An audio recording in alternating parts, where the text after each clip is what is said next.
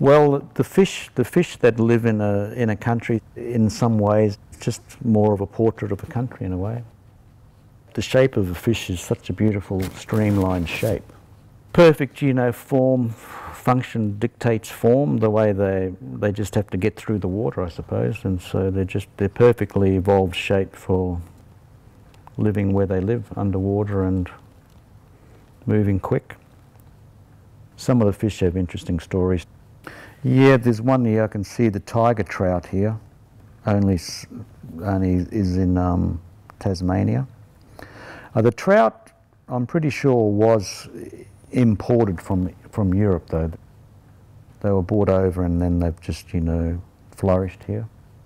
Well, the carp is really multiplied a lot, and they apparently they kind of take over take over the the rivers quite a lot, and other fish can't because they live such a long life, the carp too. They live like 80, 90 years, some of them. Get to be a huge scale.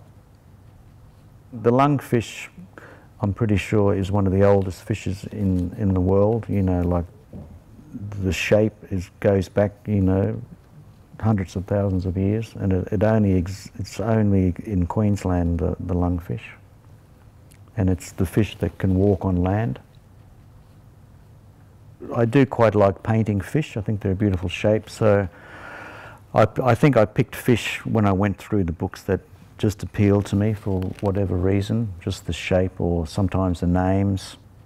You can you see the complexity of of the world, I think, and the different, just the different shades from light to light to dark, I suppose, that exist everywhere. Really, there's there's always a lot more than what seems to meet the eye, I suppose, once you look underneath. I have caught a few fish in, fish in my time, but uh, so few that I can probably remember every one I caught, because I probably caught less than 10, so you do, you do remember reeling them in. But, um, and they, they taste good fresh caught too. There's nothing quite like a fresh fish when you eat it. So.